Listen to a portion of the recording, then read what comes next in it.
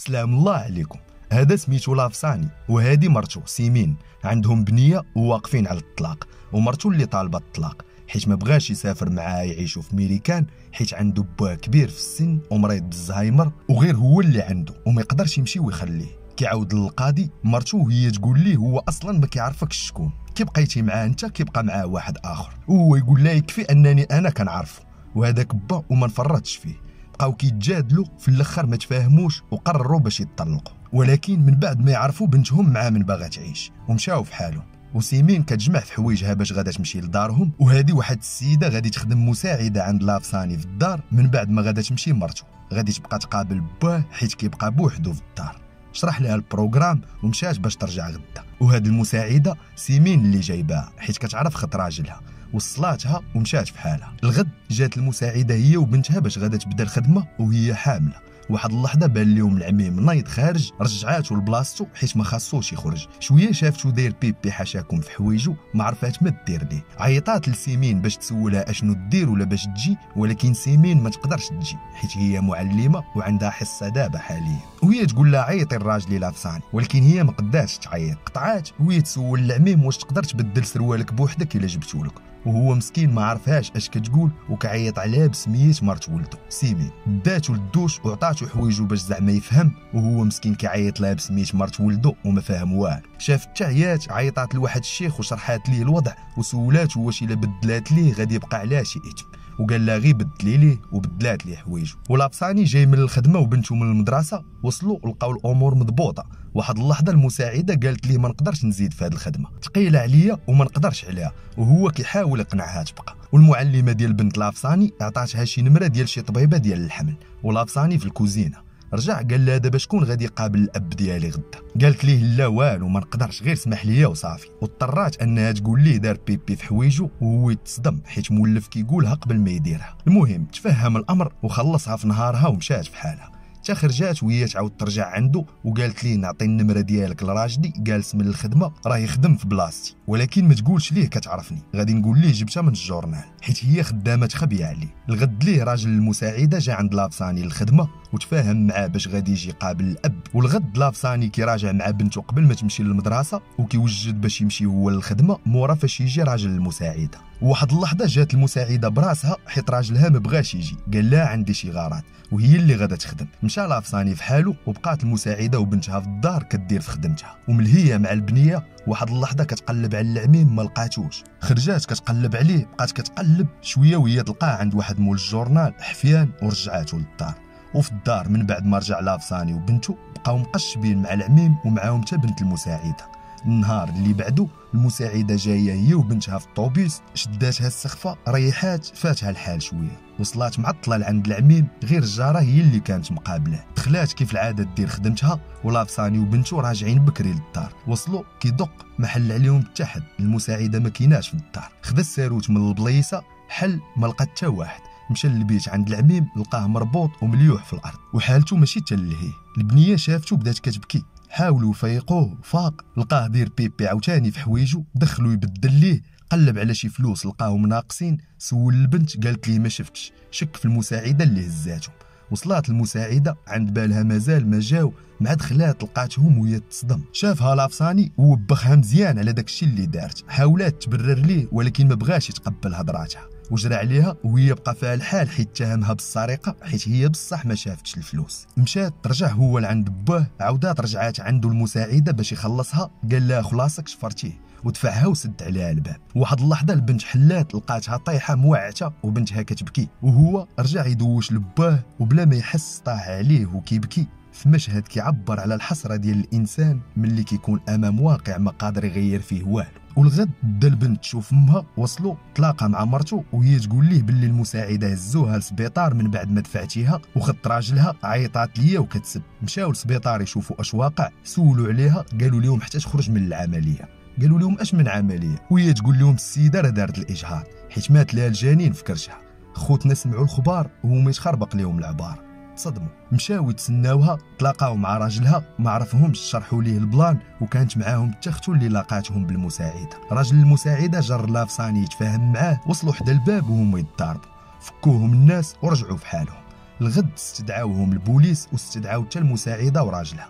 وبداو كيشرحوا للبوليس اش وقع والبوليسي قال لي الجنين مات عنده ربع شهور ونص. يعني كيتسمى قتل. ولا تبتات عليك عندك الحبس من عام حتى ثلاث سنين. لافساني قال لي أنا ما كنتش عارفها حامله. هي ديما لابسه الخمار. باش غادي نعرفها؟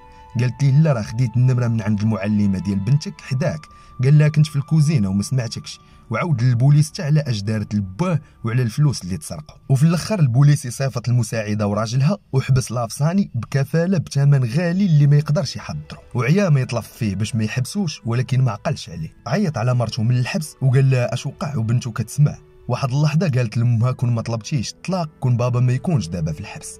الأم تعصبات عليها ومشات. الغد البنية مشات عنده للمحكمه تلاقات معاه شافها ما فهم والو.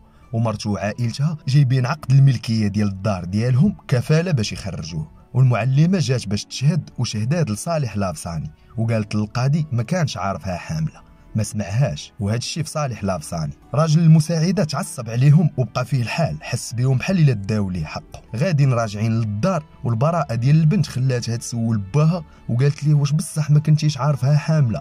حيت سمعت ماما البارح قالت ما تصدمتي ما والو ملي سمعتي راه طاح لها الولد. قال لها لا ما كنتش عارف. داز هز باه ومشاو رجعوا للدار وسيمين مازال ما رجعات معاهم. بغى يعيط للمعلمة يوصيها حيت غادي تعاود تشهد غدا. البنية قالت لي علاش غادي توصيها؟ مادام هي غادي تقول الحقيقة. الأب هو يتزير وهو يخرجها يشرح لها باللي ماشي هو مول الفعله حيت الباب بعيد بزاف على فين طاحت المساعدة. وهذاك الجهد ما يوصلهاش حتى لتما. حتى البوليس والجيران والمساعدة وراشلها باش يشرح لهم القضية. سالاو بغاو يمشيو. بنت المساعدة ناسية شي كتاب في الدار. دخلات باش يعطيه ليها. البنت تخلعات منه حاول يفهمها. البنية بغات تدافع على ماماها مسكينه وهي تقول ليه راه فاش خرجنا؟ ماما مشات عند الطبيب حيت كانت مريضة. خونا وهو يدخلوا الشك. ومشى دبا عند الطبيب باش يدير ليه شهادة طبية يدفعها في الدوسي. ما لقى عنده والو صحته بخير. وراجل المساعدة جا للمدرسة عند المعلمة اللي شهدات فيه ورونها لهم في الإدارة كيعرف المعلمة. شوية قال لها حلفي في القرآن ما كان عارفها حاملة. وهي تقسم ويديها على القرآن. خونا برد وهو يمشي في حاله. ولابساني عيط للمعلمة تعطيه النمرة ديال الطبيبه اللي عطات للمساعدة هذاك النهار. البنت وهي تسمعو كيهضر مع المعلمة على الموضوع وهي تقول لي بابا أنت على هذا الحساب كنتي عارفة علاش كذبتي على البوليس في الكوميسارية؟ عيا يخبي عليها شوية وهو يعترف وشرح لها باللي كون اعترف عند البوليس غادي يغرق حبس. وفاش دفعها كان ناسي باللي راه حاملة. الغد مشى يجيبها من المدرسة تلاقى مع المعلمة تبعها يسولها شافته وهي تهرب. مشى لل commissariat لقاها سحبات الشهادة ديالها حيت عرفات وكان عارفها حاملة ملي سولها على النمرة ديال الطبيب. يعني راه سمعهم ملي كانوا كيهضروا وهي كانت كتصاحبو ما عارفش هذاك الشيء لاش شهدات معاه. وملي عرفت الحقيقة في البلاصة مشات سحبات الشهادة. البوليسي قال لي دابا خاصني شي دليل اخر باش نثبتوا باللي ما كنتيش عارفها حاملة. كيفاش عرفتيها خدات النمرة ديال الطبيب من عند السيدة وانت ما عارفهاش راه حاملة. ولافساني هو يقول لي قالتها لي غير بنتي. وهو في الحقيقة غير كذب. كان عارفها ما قالتهاش لي البنية. البوليسي وهو يستدعي البنية هي والبنية مسكينة باش ما تصيفطش باها للحبس. اضطرات انها تكذب وتقول لي أنا اللي قلتها ليه هو ما كانش عارف. وخرجات وبقات كتبكي بزاف حيت بقى فيها الحال حيت كذبات. وسيمين مشات عند راجل المساعدة كتفاهم معاه على الدية واتفقوا على 15 مليون. يعني يعطيوها لهم مقابل انه يتنازل. جات للدار وعودات لافساني اش وقع وقالت ليه باش غادي نخلصوا هاد الثمن. لافساني ما بغاش حيت متأكد من راسو ماشي هو مول الفعله ماشي على الفلوس هو غير ما بغاهمش يلفقوا ليه شي حاجة ما دايرهاش. وتخاصموا عاوتاني وقررات سيمين باش تمشي في حالها بمرة هاد المرة وتدي معاها البنت. وواحد اللحظة على ود البنية شاف تعيا وقال لها قولي لماماك أنا موافق نقضي الغرض. الغد المساعدة جات لعند المعلمة الخدمه وعودات لها الحقيقة باللي نهار قبل الواقعة ضرباتها طوموبيل من هذيك اللحظة الجنين ما بقى تحرك يعني الجنين ميت قبل ما يدفعها. وهي ما بغاتش تقول هذا الشيء حيت كون قالته يقدر يقتلها راجلها حيت طامع في الدية. وملي سولات شي شيخ قال لها الدية محرمة عليك وتقدر تخرج ليك في بنتك. وخافت وما بغاتش تشد الفلوس وجات باش تقول لها الحقيقة وتقول لها ما تعطيوش الفلوس ولكن طلباتها باش ما تقول حتى شي واحد الحقيقة. تخلي هذا الشيء مستور حيت الراجل اللي عرفها يقدر يقتل راسو ويقتلها. والغد جاو باش يخلصوا الدية حيت سيمين ما قدراتش تعاود لراجلها أشنو قالت لها المساعدة. مريحين كيوجدوا وحاضرين الشهود لابساني قال لهم أنا ما عنديش مشكلة نعطي الفلوس ولكن عندي طلب واحد. المساعدة تأدي القسم ويديها على القرآن باللي أنا هو مول الفعلة. المساعدة تحرجات وناضت تجيب القرآن. واحد اللحظة تعطلات ناض عندها راجلها ما بغاتش تجي. وقالت ليه الحقيقة باللي ماشي هو مول الفعلة وعندي شك باللي الطوموبيل اللي ضرباتني هي السبب. وهو ما تسرطاتش ليه حيت ما بغاتش تحلف في القرآن وهما يتضاربوا والناس كيسمعوا.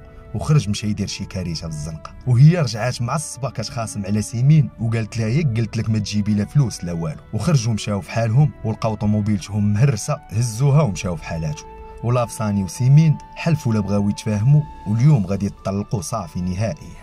عيطوا على البنت باش تختار معاه من غدا تعيش حطوها في موقف محرج.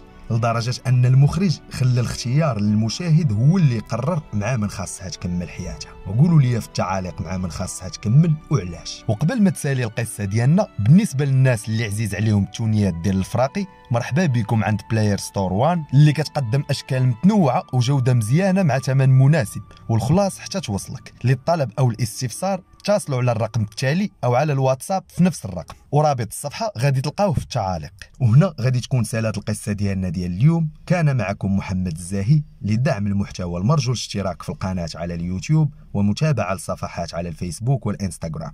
وكيف العادة؟ إلى عجبك ال plan علاش لا شي j'aime و commentaire؟ نتشاوفوا